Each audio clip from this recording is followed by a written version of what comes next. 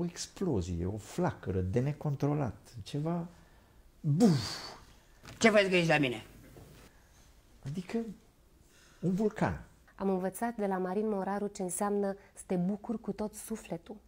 Am învățat de la Marin Moraru ce înseamnă să fii trist de adevăratele în scenă. Am învățat ce înseamnă măsura. Poc îl și pe ăsta. Mai merge, mai merge și mi-apare un urs în față. Duc pușca la ochi, trag și... Dacă zice că a omorât și ursul, îi dau cu halba în cap. E încuiat o daie. Pe bate să deschidă. Apoi a luat cheia la dumnealui când a plecat. Care va zic că a plecat. Nu, domnule, n-a plecat.